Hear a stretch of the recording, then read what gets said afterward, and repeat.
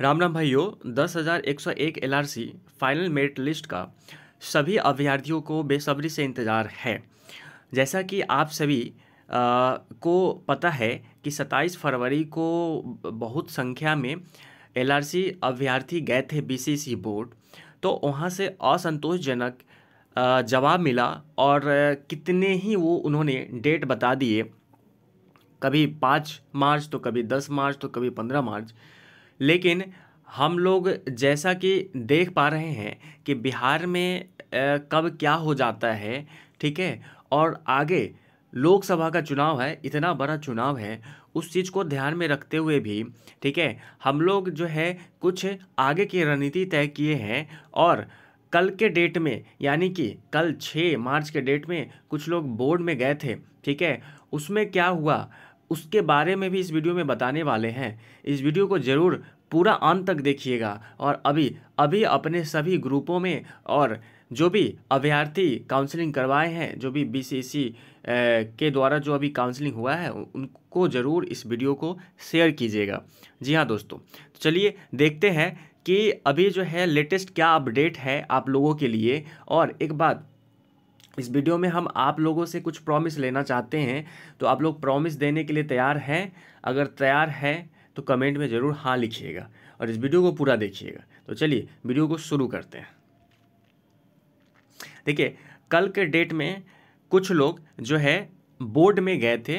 अभी अभी LRC team के द्वारा जो इन्फॉर्मेशन निकल कर आ रही है बी सी बोर्ड के वरिष्ठ अधिकारी अनिल कुमार सिन्हा सर द्वारा बोला गया, अमीन कानून को कलर की प्रक्रिया पूर्ण रूप से हो चुकी है। अब क्या है, लोचा कहाँ फंस रहा है? आप दो, आप लोग देखें। एएसओ के शेष कुछ काम बाकी है। उन्होंने फिक्स कोई तारीख, रिज़ल्ट पब्लिश होने की नहीं दी है। रिज़ल्ट कब प्रकाशित होगा? ठीक है, उनकी बातों से कोई क्लैरिटी मतलब वो असंतोषजनक जवाब दे रहे हैं, कोई साफ़ जवाब नहीं दे रहे हैं, कुछ भी बोल रहे हैं गोल मटोल बन, बोल रहे हैं, कोई एक बात पर जो है निश्चित नहीं रह रहे हैं। नज़र आ रही है, वो हमारे प्रश्नों से बचना चाहते हैं, ठीक है?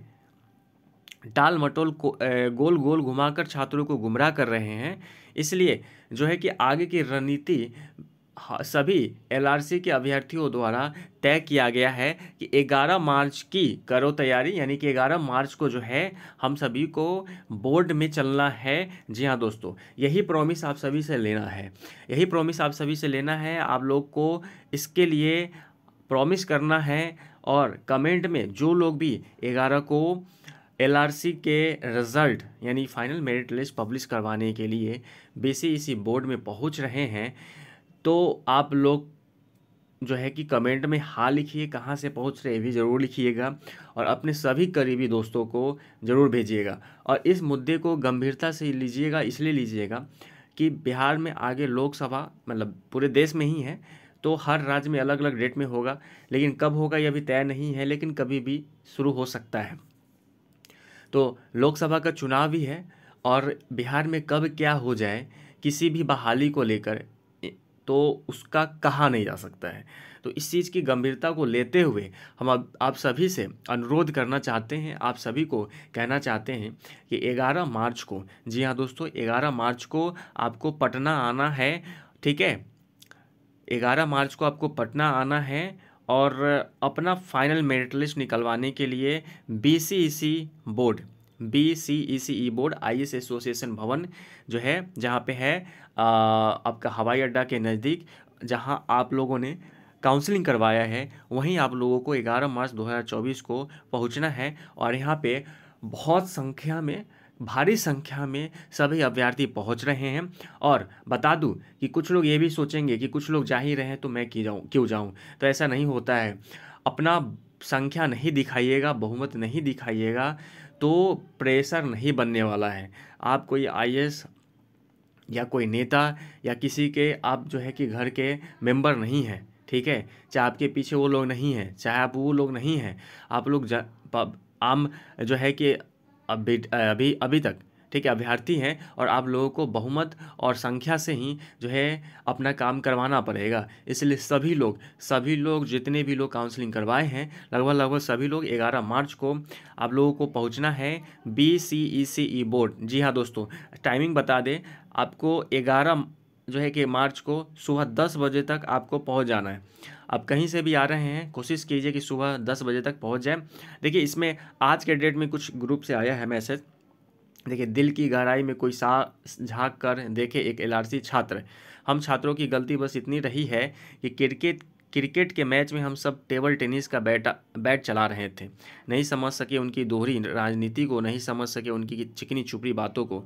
झूठे सपने, झूठे वादे, झूठे आश्वासन, इन्होंने झूठे, झूठ की इमारत खड़ी कर रखी थी। धूल चेहरे पर लगा था, धूल चेहरे पर लगा था और हम सब आईना पोछ रहे थे। ग्यारह मार्च को पटना चलो, ठीक है? बिहार में गुजिएगा भारत के किसी भी कोने से आप आ रहे हैं, आइए और सुबह ग्यारह बजे, दस बजे तक जो है कि पहुँच जाना है और घर से ऐसा भीषण संकल्प लेकर निकलना है कि जो है अपनी ताकदीर अपने हाथों में लौ, लेकर लौटेंगे मतलब रिज़ल्ट निकलवा कर ही लौटना है। और हम हम हम लोग भी ये चीज़ समझ सकते हैं कि अगर भारी मात्रा में हम लोग आए, सब कुछ तैयार है तो उसी दिन, ग्यारह मार्च तक, शाम तक रिज़ल्ट पब्लिश कर दिया जाएगा। तो बस आप लोग तय कर लीजिए खुद से, आप लोग एक वादा कीजिए कि आप लोग आ रहे हैं और कमेंट बॉक्स में लिखिए कि जी सर, मैं भी आ रहा हूँ, ग्यारह मार्च को B board I S association भवन, सुबह दस बजे तक, ठीक है? और बहुत अच्छा लगेगा, आप लोग आएँगे, ज़मीन पे उतरेंगे तो रिज़ल्ट हो सकता है, उसी दिन पब्लिश हो जाएगा। चलिए, इस वीडियो को देखिए और शेयर कीजिए, ज़्यादा से ज़्यादा लाइक कीजिए, कमेंट कीजिए, नए लोग हैं तो सब्सक्राइब कीजिए, धन्यवाद।